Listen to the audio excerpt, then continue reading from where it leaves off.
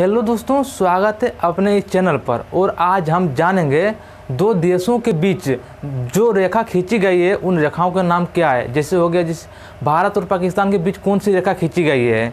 भारत और चीन के बीच कौन सी रेखा खींची गई जो कि वो डिवाइड करता है भारत और पाकिस्तान को या तो चीन को? इन सब रेखाओं के बारे में आज हम इस वीडियो में जानेंगे।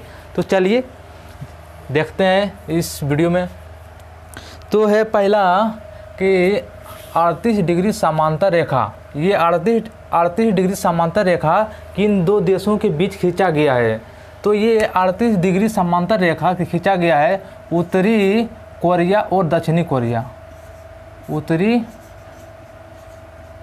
कोरिया उत्तरी कोरिया और दक्षिणी कोरिया के बीच 38 डिग्री समांतर रेखा खींची गई है। उत्तरी कोरिया और दक्षिणी कोरिया।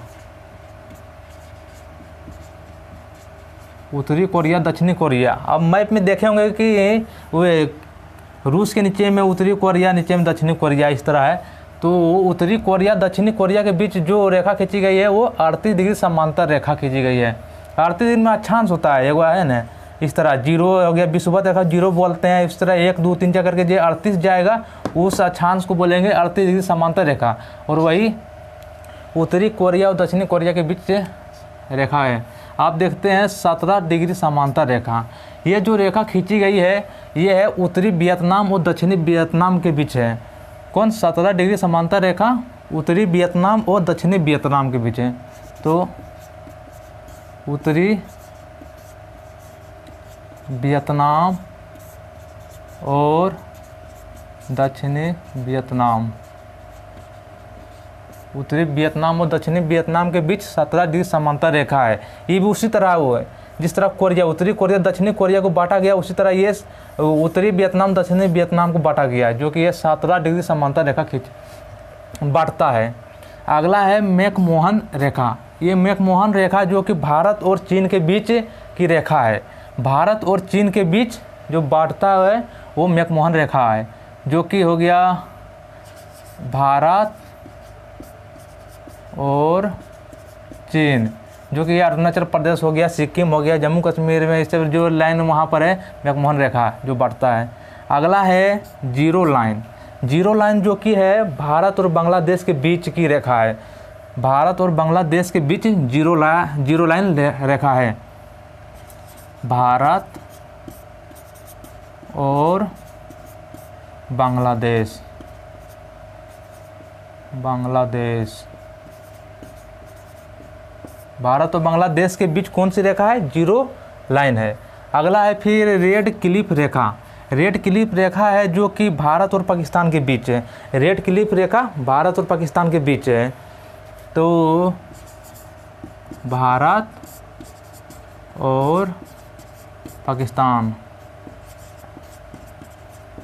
पाकिस्तान के बीच है रेड क्लिप रेखा। अगला है डूरंड रेखा। डूरंड रेखा जो है पाकिस्तान और अफ़गानिस्तान के बीच है। हमारा भारत है।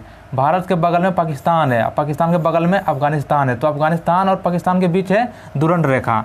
तो डूरंड रेखा, पाकिस्तान। पाकिस्तान और अफ़गानिस्तान। अफ़गानिस्तान। पाकिस्तान और अफ़गानिस्तान के बीच कौन सी रेखा है? डुरंड रेखा है। ठीक है? अब है अगला 24 डिग्री अक्षांश रेखा। 24 डिग्री अक्षांश रेखा है जो कि गुजरात के कच्छ से होकर गुजरती है, ये अक्षांश रेखा। तो लिख देते हैं। गुजरात के कच्छ से गुजरती है। गुजरात के कच्छ से गुजरती है 24 डिग्री अक्षांश रेखा गुजरती है। ठीक है? अगला है मेन रहीम रेखा। मेन रहीम रेखा। ये मेन रहीम रेखा जो कि रूस और फिनलैंड के बीच की रेखा है। रूस मान लीजिए इस तरह रूस बड़ा है और उसके बगल में फिनलैंड है। तो रूस और फिनलैंड के बीच में ये मेन रहीम रेखा है। तो लिख देते हैं। रूस और फिनलैंड। फिनलैंड। फिन, फिनलैंड। फिनलैंड। अब फिनलैंड को जो कि बोला जाता है झीलों की नगरी, या तो झीलों के देश बोला जाता है फिनलैंड को, ठीक है? अगला है हिंडेनबर्ग। हिंडेनबर्ग या तो ओडर नीचे हिडनबर्ग और ओडर नीचे ये किन दो देशों के बीच है? तो ये है पोलैंड और जर्म, पोलैंड और जर्मनी के बीच है। यार पोलैंड है, यार जर्मनी है। जर्मनी, यार पटिए फिर फ्रांस है। तो फ्रांस वाला अलग पढ़ेंगे। उसका भी। तो जर्मनी और पोलैंड के बीच जो रेखा है, उसको बोलते हैं हिडन बर्ग तथा ऑर्डर नीचे तो क्या लिख देते हैं?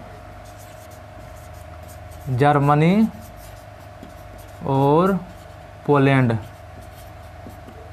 जर्मनी और पोलैंड के बीच हिडेनबर्ग तथा यह ऑर्डर नीचे हिडेनबर्ग कहाँ की है?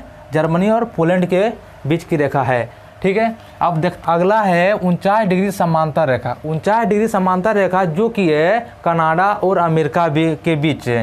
कनाडा जो कि ऊपर में है, ऊपर इसके नीचे है, अमेरिका। तो कनाडा और अमेरिका के बीच उनचास डिग्री समांतर रेखा है। तो यहाँ लिख देते हैं, कनाडा और अमेरिका के बीच उनचास डिग्री समांतर रेखा है। यूएसए लिख देते हैं। यूएसए यूएसए और कनाडा के बीच उनचास डिग्री समानता रेखा है। आप देखते हैं मैगी नोट। मैगी नोट देखते हैं। तो मैगी नोट जो कि है, जर्मनी और फ्रांस के बीच रेखा है। जर्मनी और पोलैंड के बीच जो कि है, हिडनबर्ग। और जर्मनी और फ्रांस के बीच मैगी नोट। जर्मनी और फ्रांस के बीच मैगी नोट रेखा है। जर्मनी और फ्रांस। मैगिनोट रेखा है। अब लास्ट है एक सौ इकतालीस डिग्री पश्चिमी देशांतर। तो एक सौ इकतालीस डिग्री पश्चिमी देशांतर जो कि है कनाडा और अलास्का के बीच।